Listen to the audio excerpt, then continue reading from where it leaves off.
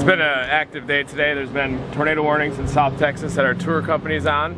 So we've been social networking about that, trying to drive traffic to their stream and get them in the right position.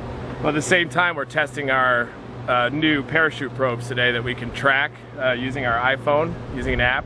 You can turn it on with the magnet. Make sure we get a uh, strobe flash. Can just on and ready to go. Got the little GPS light there. Close the breech. Make sure.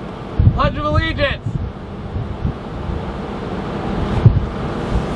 Three, two, one.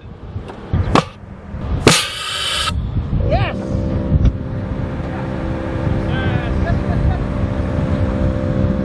They're Guys ready? testing out our uh, new. Uh,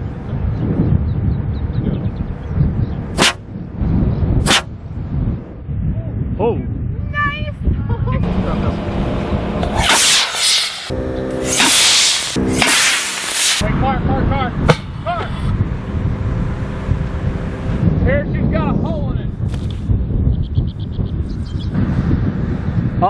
There it is. Um,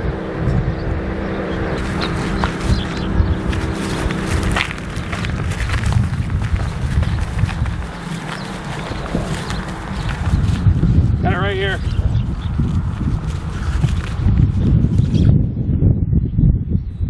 It worked. And the parachute's bright orange too for safety. Today was a success. What we were testing today was the tracking system and the dog collar method that we're using that Justin White implemented. And that worked flawlessly in terms of tracking. Uh, now we just need to refine getting the uh, projectile higher up, which isn't as high of a priority because we know that if we're inside a tornado, we could throw that thing out the window and it would still get caught up in the circulation.